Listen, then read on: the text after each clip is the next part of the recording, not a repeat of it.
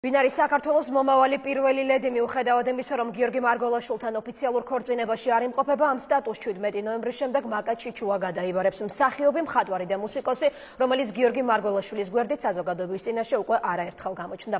ის ქვეყნის რიგით მეოთხე პირველი ლედი იქნება. პოლიტიკურად აქტიური მანანა არჩვაძე გამსახურდია ქველმოქმედებით დაკავებული ნანული შევარდნაძე და ასევე ქველმოქმედებასა და აქტურ საზოგადოებრივ ცხოვრებაში ჩართული ჰოლანდიელი სანდრა როლოსი. პარალელები მომავალ და ძველ ლედებს შორის სალომე ქოქიაშვილის რეპორტაჟი.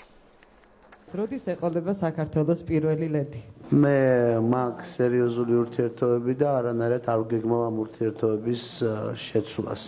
ქალბატონი რომელთანაც გიორგი მარგველაშვილს ხანგრძლივი ურთიერთობა აკავშირებს მხატვარი და მსახიობი მაკა ჩიჩუა. საზოგადოებაში ის გამარჯვებულ კანდიდატთან ერთად რამდენჯერმე მათ შორის არჩევნების ღამესაც გამოჩნდა. ძალიან დიდი მადლობა ყველას. შეკითხვაზე კი გახდება თუ არა მაკა ჩიჩუა პირველი ლედი მიუხედავად იმისა რომ ის გამარჯვებულ კანდიდატთან ოფიციალურ ქორწინებაში არ იმყოფება დიპლომატები პასუხობენ რომ აუცილებლად გახდება. პირველი ლედი სამართლებრივი სტატუსი არ არის დიპლომატიურ ენაზე კი ნდობით აღჭურვილ თამხლებ პირს ნიშნავს რომელსაც ურთიერთობის დამადასტურებელი ყოველი ოფიციალური დოკუმენტი არ სჭირდება. არავინ არ კითხულობს ამ შემთხვევაში, არის თუ არა ეს გაფორმებული ეკლესიურად, ან თქვათ სადღაც დოკუმენტით, ყველა შეუძლია, ყველა პირველ პირს შეუძლია ვიღაცა გამოაცხადოს თავის პირველ ლეიდით. პირველი ლედის სტატუსი მაკაჩიჩუა 17 ნოემბერს გიორგი მარგოლაშვილის ინაუგურაციის შემდეგ რუსთაველის გამზირზე მოიპოვებს. სწორედ ამ ადგილას დამოუკიდებელი საქართველოს ისტორიაში კიდევ სამ ქალბატონს ხვდა წილად ლედის საპატიო სტატუსის დარება. ფიცალ ღვთისა და ერის წინაშე, რომ ერთგულად განვახორციელებ. სტატუსი პირველი ლედი პირველად 1991 წელს პირველი პრეზიდენტის ინაუგურაციისას გაჩნდა. მეუღლის გაპრეზიდენტებას მანანა არჩვაძე გამსახურდია საპატიო ლოჟიდან ადევნებდა თვალს, თუმცა საზოგადოებაში მაშინ საუბრობდნენ იმაზეც, რომ ის პირველი პრეზიდენტის პოლიტიკასთან გაცილებით ახლოს იყო და გადაწყვეტილების მიღების პროცესში ხშირად მონაწილეობდა. განსაკუთრებული კრიტიკა კი პირველმა ქალბატონმა იმ დროს დამოუკიდებლობის აქტზე ხელმოწერის გამო დაიმსახურა. განიხილებოდა ის რომ მან დამოუკიდებლობის აქტზე მოაწერა ხელი ის რომ პოლიტიკურად იყოს აქტიური და ასე შემდეგი.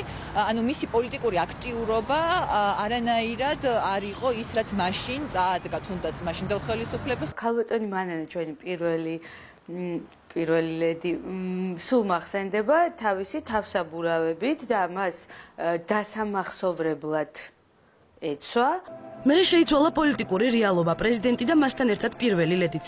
1995 წელს ამ სტატუსის დარების პატივი ედვარდ შევარდნაძის მეუღლის ნანული შევარდნაძეს ერქო. წინამორბედისგან განსხვავებით ის პოლიტიკურად აქტიური არასოდეს ყოფილა.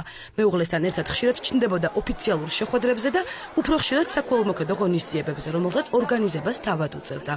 ცოლქმრული ურთიერთობაც კი გრძნობოდა ქალბატონ დადულეში. რაღაც ღონისძიებებზე მახსოვს რომ მომწონებია ქლიანობაში და კიდევ უფრო კარგი შეიძლება და ყოფილიყო. ამის ჩაცმულობაში არასოდეს არ იყო ესეთი კაფიო შტრიხები. 9 წლის შემდეგ რუსთაველის გამზირზე გამართული ახალი პრეზიდენტის ინაუგურაციისას ქვეყნის ისტორიაში გაჩნდა კიდევ ერთი პირველი ქალბატონი, ჰოლანდიელი სანდრა რულოვსი, სადაც მოკრძალებული იმიჯითა და გრანდიოზული საქველმოქმედო გეგმებით. სცენაზე რულოვსი იშვიათად უფრო ხშირად კი სამედიცინო დაწესებულებებში და სხვადასხვა საქველმოქმედო ღონისძიებებზე ჩნდებოდა.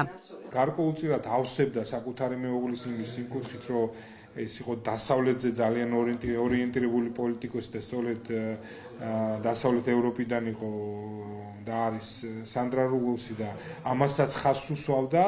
დამოუკიდებლობის 23 წელი და სამი განსხვავებული ქალის პოლიტიკური ცხოვრება ახლა უკვე ისტორიული მეხსიერების ნაწილია. 17 ნოემბრიდან საქართველოს უკვე რიგით მეოთხე პირველი ლედი ეყოლება, რომელიც ამ სტატუსს შემდგომი 5 წლის განმავლობაში ატარებს.